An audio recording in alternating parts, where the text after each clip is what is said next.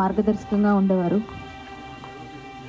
గత రెండు టర్ములుగా డిసిప్లినరీ కమిటీ చైర్మన్ కృష్ణరాజు గారే. మాకు చాలా సందర్భాల్లో జోవియల్గా అంటే చాలా కలుపుకలుగా ఉండేవారు అందరితో. మేము చాలా బాధపడుతున్నాం. ఎందుకంటే చెప్పడానికే మాటలు రావట్లేదు. వన్ మంత్ నుంచి కొంచెం ఇబ్బంది అవుతుంది.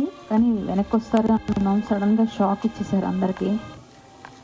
మేడం కూడా చాలా వీక్గా ఉన్నారు. వాళ్ళ కుటుంబానికి ప్రగాఢ సానుభూతి తెలియజేస్తున్నాం. వారి ఆత్మకు శాంతి చేకూరాలని కోరుతూ ఒక మహా మనిషి వెళ్ళిపోయారు. ఆకాశం కూడా ఈరోజు రోధిస్తుందనే చెప్పాలి ఒక విధంగా. ఇంత అజాత శత్రువును కోల్పోయాం. చాలా బాధాకరం. మరి ఆత్మకు శాంతి చేకూరాలని కోరుతున్నాను. ఓం శాంతి.